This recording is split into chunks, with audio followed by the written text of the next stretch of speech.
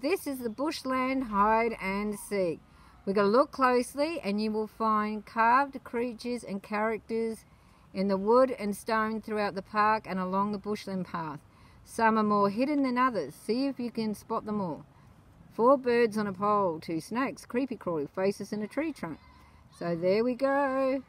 We're going to see if we can find the bushland hide and seek.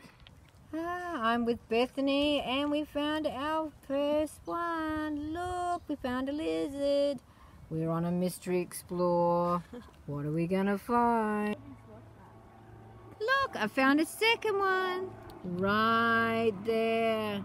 Ooh, what else are we going to find? And we found another one. We found another bug right on the log. Can you see it? Mm.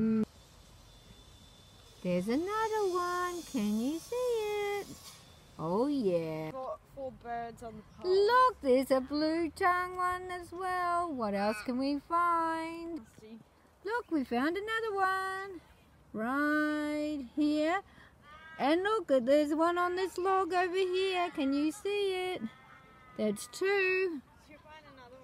Not getting kids. There is the snake. Bethany found the snake. Yay.